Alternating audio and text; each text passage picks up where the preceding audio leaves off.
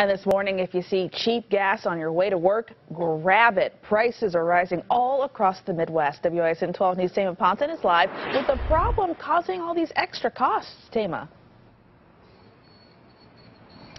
Well, Melinda, the next time you drive up to a pump like this, you might want to think about the state of Indiana. That is where we turn our attention to this morning as for answers as to why these numbers are going up so quickly. Several financial news sources report mechanical problems at a BP refinery in Indiana forced the company to shut down the largest crude unit.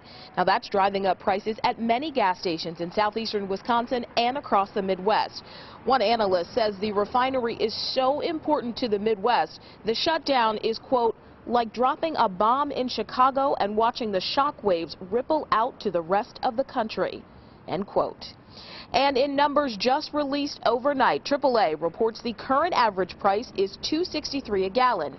Yesterday's average was 260.